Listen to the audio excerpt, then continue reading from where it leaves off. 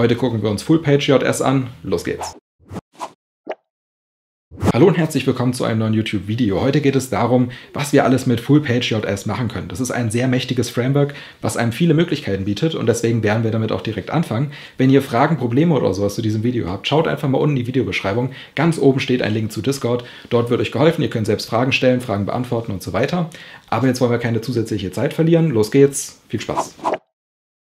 Und los geht's mit dem heutigen Video. Heute geht es um eine Library, die relativ bekannt ist, und zwar geht es um Full-Page.js. Das ist eine Library, die sogenannte Full-Screen-Scrolling-Animation machen kann. Was heißt so etwas, wenn ich jetzt beispielsweise auf dieser Seite hier einfach mal scrolle, dass wir automatisch weiter scrollen, sodass der gesamte Bildschirm ausgefüllt wird und das eignet sich extrem gut für Produktpräsentationen, für Präsentationen von Inhalten oder einfach um bestimmte Themen zu vermitteln.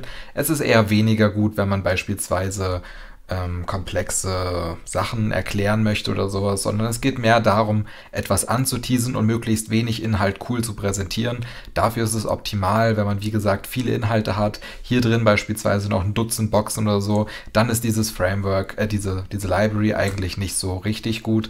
Allerdings, wie gesagt, für diesen Zweck bestimmte Informationen einfach leicht zu vermitteln und diesen schönen Scrolling-Effekt zu haben, dafür ist es wirklich gut. Das Ganze ist wie gesagt sehr einfach und deswegen klickt hier einfach auf diesen Download-Button. Der Link zu, diesem, zu dieser Live-Demo im Prinzip findet ihr unten in der Videobeschreibung. Da wir uns heute nur angucken, wie man diese Library richtig verwendet, beziehungsweise wie man sie auf seiner eigenen Webseite verwenden kann, gibt es heute keine Live-Demo von mir, weil ihr alles im Prinzip hier seht, beziehungsweise wenn ihr euch den Ordner runtergeladen habt, kriegt ihr ein so, solches Verzeichnis im Prinzip und hier sind, ja, sind eigentlich nur zwei Ordner wirklich wichtig. Einmal für jeden, den interessiert, den Pure JavaScript Ordner. Allerdings ist dieser noch gewaltig verbuggt. Wer natürlich gerne selber mitentwickeln möchte, kann sich hier mal umsehen und vielleicht selbst ein, zwei Zeilen dazu schreiben. Das andere, was es gibt, ist die Example-Seite. Und zwar hier findet ihr jede Menge verschiedene Versionen dieses, ja, dieser Library im Prinzip, was man damit alles machen kann. Und wer das wirklich nutzen möchte, sollte sich hier mal durch alle durchklicken. Das werde ich in diesem Video jetzt nicht machen, weil es sonst einfach den Rahmen sprengen würde. Was aber das Wichtigste ist, ist dieser Dist-Ordner hier oben. Und zwar hier brauchen wir einmal die Full-Page min CSS und die Full-Page-Min.js. Diese beiden Dateien sind eigentlich die beiden wichtigen, die ihr braucht. Der ganze Rest ist irrelevant. Deswegen schließe ich das hier jetzt auch. Und das hier machen wir auch einfach mal klein. Und zwar das erste, was ihr hier seht, ist einmal meine Entwicklungsumgebung. Und heute arbeiten wir mit einer Index-HTML, in der alles liegen wird. Dann haben wir eine Function.js. Diese ist aktuell noch mehr oder weniger leer. Wir haben hier die Full-Page min.js schon mal eingefügt in dem JS-Ordner und in dem CSS-Ordner haben wir im Prinzip die Full-Page min.css und die Style.css. Die Style.css hat schon ein paar Werte drin, dazu komme ich später, aber als erstes gucken wir uns an, wie die Index an sich aufgebaut ist. Und das erste, was wir hier haben, ist unsere CSS-Dateien. Ganz oben ist die Full-Page min.css, darunter unsere Style.css, dann haben wir hier unsere Diff-Boxen im Prinzip. Und zwar einmal haben wir eine Diff-Box mit der ID Fullpage. Das ist so aus deren Demo übernommen. Ich empfehle bei sowas, also wenn man Libraries nutzt, am besten immer die Standard, also die standardisierten Klassen und ähm, IDs zu nutzen, die auf den Beispielsseiten auch genutzt werden. Was heißt, wenn später mal jemand mit der Seite arbeitet, den ihr vielleicht nicht kennt, weil ihr nicht mehr da seid ähm, oder den was anderes macht oder was auch immer, dann im Prinzip kann der sich relativ schnell einlesen. Deswegen ist es immer ganz gut, die Standard-ID und Klassen zu nutzen, auch wenn man theoretisch andere nutzen könnte. Hier drin befindet sich dann jeweils eine H3.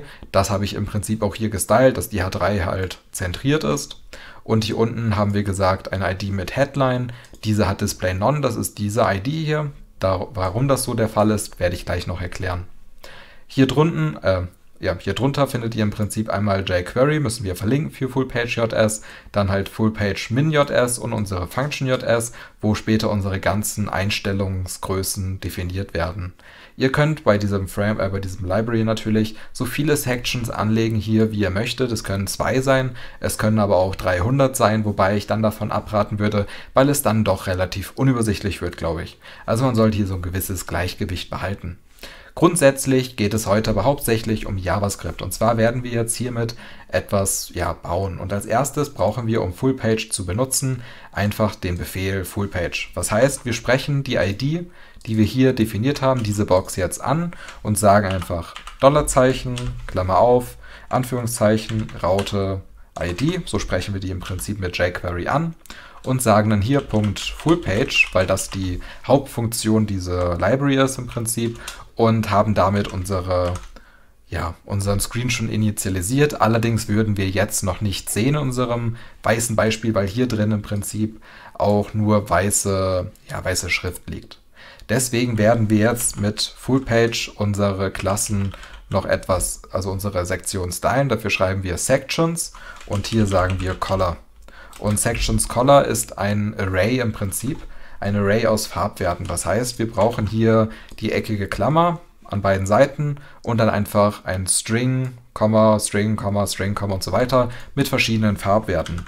Am Ende machen wir wieder ein Komma, speichern das Ganze ab, aktualisieren und zack, unsere gesamte ja, Sache funktioniert schon, außer dass wir hier im Prinzip noch nicht sehen, beziehungsweise hier ist keine Headline. Das hat damit zu tun, dass genau diese Headline im Prinzip mit Display auf None steht. Ansonsten, wie gesagt, haben wir jetzt hiermit schon mal die Farbe gestylt. Ihr müsst natürlich nicht hiermit die Farbe stylen, ihr könnt auch ganz einfach beispielsweise hier eine Klasse reinschreiben und dann dieser Klasse eine Background Color mitgeben oder Hintergrundbilder damit definieren. Aber ihr könnt im Prinzip das alles auch in der Function.js machen, was wir in diesem Fall gemacht haben. Das nächste, was ich ganz nett finde, ist im Prinzip, wir können einen isIng bzw. isOut-Effekt nutzen und dazu schreiben wir jetzt einfach isIng und dann CSS3 und fügen jetzt hier einfach eine CSS3 Cubic Function ein. Ähm, zack, hier ist sie schon. Und eine Cubic Bezier Kurve im Prinzip. Dazu habe ich in der Vergangenheit schon mal ein paar Videos gemacht. Das ist einfach eine Verlaufskurve, wie praktisch eine Animation sich verhalten soll.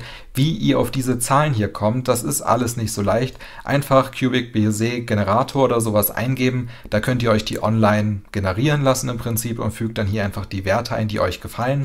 In meinem Fall, wenn ich das Ganze jetzt aktualisiere und scrolle, dann bounce das Ganze so ein bisschen. Was heißt, ihr seht, dass das Ganze erst so ein bisschen weiter hoch scrollt, als es eigentlich ist und dann wieder runterfällt. Ihr könnt das natürlich ändern, wie ihr Lust und Laune habt. Allerdings finde ich diesen Effekt eigentlich ganz witzig. Natürlich, wenn man jetzt beispielsweise mehrere dieser Oberflächen hat, können wir das Ganze auch ja, endlos gestalten. Das heißt, wenn man ganz unten ist, kann man wieder oben anfangen. Das Wichtige ist, euer Inhalt muss passen. Was heißt, wenn ihr eine Loop-Funktion benutzt, aber ganz unten im Prinzip an einem Dead-End seid und wieder nach oben scrollt und es einfach wieder von vorne beginnt beispielsweise, das ist nicht hilfreich. Praktisch ist es, wenn man beispielsweise seine Leistungen oder so etwas vorstellt und das Ganze einfach endlos durchlaufen kann, dann ist das Ganze praktisch. Aber das grundsätzlich umzusetzen geht sehr simpel. Und zwar schreiben wir hier einfach Loop top und sagen hier einfach true. Wenn ich das Ganze jetzt abspeichere und aktualisiere und nach oben scrolle, dann lande ich ganz unten. Wenn ich nach unten scrolle, passiert allerdings noch nichts. Was heißt, ich brauche einen zweiten Loop, und zwar Loop äh, bottom. Oh. Bottom. Oh. So. True speichern, aktualisieren. Ich scroll nach oben und es landet unten. Ich scroll nach unten und es landet wieder oben. Das heißt, damit haben wir jetzt schon mal so eine Endlosschleife gebaut und wir können jetzt durch die Gegend springen. Wir haben jetzt gerade nur vier Sektionen, da ist eine Navigation relativ einfach. Wenn ihr beispielsweise fünf oder sechs oder sieben oder acht habt, dann wird es langsam unübersichtlich und der User möchte vielleicht gezielt zu bestimmten Sektionen springen. Das Ganze gewährleistet eine Navigation und das Ganze kann diese Library ziemlich einfach und zwar sagen wir einfach Navi äh, Navigation und sagen hier True. Das Ganze speichern wir jetzt ab und haben hier einfach so ein paar Punkte. Diese könnt ihr freigestalten, wie ihr Lust und Laune habt. Dazu müsst ihr theoretisch einfach nur hier oben auf Documentary klicken, also auf Docs. Und hier ist im Prinzip alles erklärt, was ihr wissen müsst, was ihr könnt. Was heißt alle Optionen und so weiter. Also ihr könnt hier im Prinzip alles machen, was ihr möchtet. Aber grundsätzlich können wir mit der Navigation ein paar wichtigere Sachen machen, die man relativ häufig braucht. Und zwar einmal, das kann ich einfach kopieren, äh, Navigation und dann sagen wir Position. Und hier können wir jetzt beispielsweise sagen Left. Was heißt, wir möchten das Ganze jetzt auf der linken Seite haben und dann ändert sich einfach die Position. Ich finde persönlich allerdings Right deutlich angenehmer.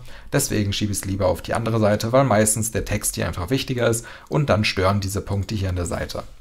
Das nächste, was wir auch mit Navigation machen können, ist im Prinzip Navigation und dann sagen wir Tooltips. Weil es gibt nichts Wichtigeres, als dem User zu vermitteln, wo er sich gerade befindet, sodass niemals die Frage aufkommt, wo bin ich gerade. In unserem Fall brauchen wir hier wieder im Prinzip ein Array, wieder einen String und sagen hier Section 1. Das Ganze schließen wir jetzt hier hinter mit einem Komma und kopieren uns das Ganze einfach jetzt in unserem Fall einfach zweimal, das heißt Section 2 und Section 3. Aber jeder von euch, der aufgepasst hat, sieht, dass er hier vier Sections hat. Was heißt, wenn ich das Ganze jetzt aktualisiere und hier drüber gehe, sehen wir Section 2, Section 3, aber hier ist nichts mehr. Was heißt, das geht automatisch die einzelnen Sektionen durch und man muss halt hier darauf achten, dass man auch wirklich die Sektionen alle hat, die man haben möchte. Beispielsweise Section 1, 2, 3, 4 und so ist praktisch die Navigation des Nutzers gewährleistet. Das sind so grundsätzlich die, ja, Klammern Basisfunktionen dieses, dieser Library. Allerdings gibt es eine, also zwei richtig coole Funktionen, mit denen ihr diese, diesen ganzen Effekt richtig aufpimpen könnt. Und zwar sagen wir hier jetzt after load. Und after load ist eine Function, das heißt, das ist ein Event-Trigger, an den wir im Prinzip zwei Links übergeben können. Einmal Links, dann Index und die Reaction übergeben wir im Prinzip. Das Ganze können wir jetzt einfach laden. Hier unter machen wir ein Komma und sagen jetzt hier als erstes console.log, sagen hier Enter. Das Ganze können wir natürlich noch, ja, in Klammern negativieren und sagen hier im Prinzip on leave und sagen hier äh, einfach quit. Das heißt, wir haben jetzt einfach zwei Befehle gemacht, wenn wir im Prinzip äh, ja, eine dieser Boxen verlassen. Das Ganze untersuchen wir jetzt mal, gehen hier in die Konsole, scrollen hier runter. Wir sehen, es hat gequittet und geentert im Prinzip. Und das Ganze funktioniert jetzt jedes Mal, wenn wir im Prinzip in eine neue Section gehen. Aber vielleicht will man gar nicht immer in eine neue Section gehen, sondern nur bei bestimmten Events machen, also irgendetwas ausführen. Das können wir einfach machen, indem wir sagen if, dann index 2. Das heißt, sobald in diesem Fall die zweite Sektion gewählt ist, soll etwas ausgeführt werden. In unserem Fall soll einfach Enter ausgegeben werden. Das Ganze mache ich jetzt hier unten auch noch einmal und sage hier wieder Quit. So, das Ganze aktualisiere ich jetzt. Zack. Und wenn ich jetzt runtergehe in Sektion 2, oh, es hat nicht, nicht funktioniert. Und zwar müssen wir hier jetzt nicht nur Index übergeben, ähm, beziehungsweise nicht Anchor Link, sondern wir übergeben hier jetzt auch noch äh, Next ups, Index aktualisieren das Ganze, machen das Ganze runter und haben jetzt hier hm, immer noch irgendeinen kleinen Fehler drin. Ah, okay, natürlich. Wir müssen hier das Next hinter den eigentlichen Index machen. Jetzt sollte das Ganze wunderbar funktionieren. Aktualisieren wir das Ganze mal.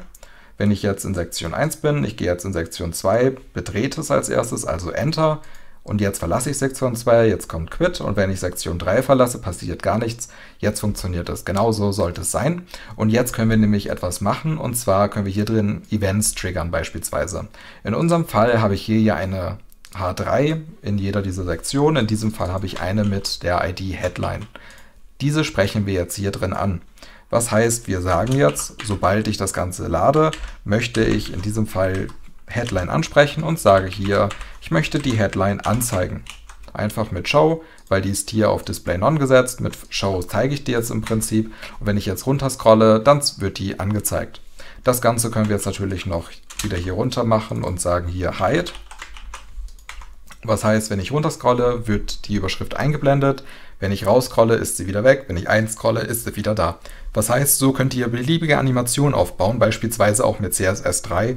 Was heißt, dass ihr hier zum Beispiel Klassen triggert, also einfach Klassen mit ähm, einem Toggle-Befehl hinzufügt und wieder wegnehmt, sodass sich Elemente einblenden, animieren und so weiter. Und damit kann man wirklich coole Sachen in Klammern entwickeln und bauen. Und deswegen lohnt sich ein Blick in diese Library auf jeden Fall. Und schaut einfach mal unten in der Videobeschreibung vorbei und gebt die Library bzw. den Entwicklern einen Daumen hoch. Ansonsten viel Spaß beim Nachmachen. So, das war schon wieder für diese Woche. Wenn euch das Video gefallen hat, hinterlasst einen Daumen hoch oder einen Kommentar unter dem Video. Ansonsten, wenn ihr Fragen, Probleme, Kritik oder sowas habt oder einfach nur up-to-date bleiben wollt, unten in der Videobeschreibung findet ihr Twitter, Facebook, Instagram. Dort könnt ihr einfach mal vorbeischauen. Ansonsten, wenn ihr diesen Channel unterstützen möchtet, findet ihr dort auch Amazon Affiliate Links, wo ihr einfach vorbeischauen und irgendwas kaufen könnt. Ansonsten sehen wir uns nächste Woche wieder. Viel Spaß beim Nachmachen. Bis bald. Ciao.